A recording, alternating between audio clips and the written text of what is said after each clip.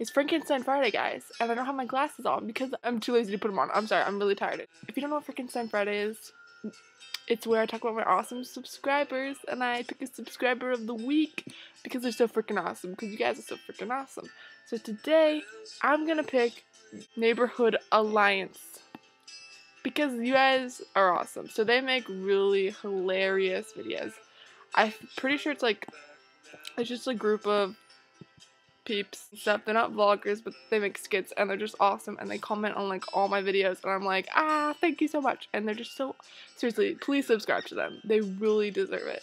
Serious. Just check them out. You'll be like, oh my god, thank you, Emmy. Uh, did I call myself Emmy? Sorry, I'm getting confused. I don't know what my name is anymore. Hmm. So please, please subscribe and tell them Emma sent you. Going crazy. I'm really hyper right now because I just went to the movies. I saw the movie The Help with my parents. Because, you know, that's how I roll. I go to the movies with my parents. Watch it if you. I can't talk. I'm so hyper.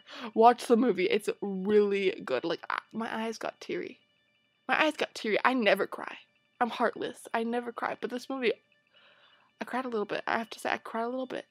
Anyway, what was I talking about? Oh, yeah. Why I'm hyper. Because I had this medium diet Pepsi. But of course, mediums in America are pretty much like extra larges. So they're like humongous. But I drank it all because I was thirsty.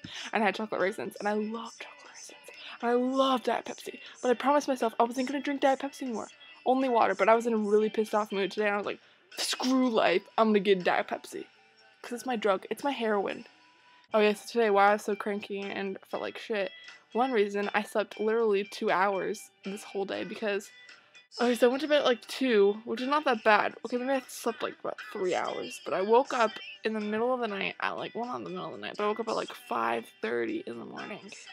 I just felt like shit. I felt like I was gonna throw up. I felt so sick. I was like, oh. So like, I literally could not go back to sleep because my stomach hurt so much. And I was just like in total pain. I was like, oh. So what I did, instead of, you know, going back to sleep because I couldn't sleep. I watched the movie I Love You, Phillip Morris. I think that's called on Netflix with Jim Carrey and Ewan McGregor. It's such an awesome movie. I keep getting freaking sidetracked. What was I saying? Oh yeah. So that movie ended about I don't know 7:30. So at seven I was like, screw this. I'm just gonna go walk my dog. Cause you know I told you yesterday my doctor said I was fat pretty much. So I was like, I should go walk my dog.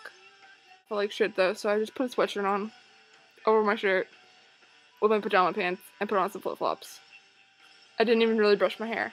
I looked terrible, but I was like, who's up at 7 in the morning anyway? I won't see anyone. By the end, I got freaking lost in my own city. I got lost. I didn't know where the frick I was. I was like, what the hell? Where am I? I was like, cause you know, I wasn't really paying attention. And I was like, oh, that corner looks nice. Let's turn there. Oh, that corner looks nice too. Let's turn there. Let's go straight for a while.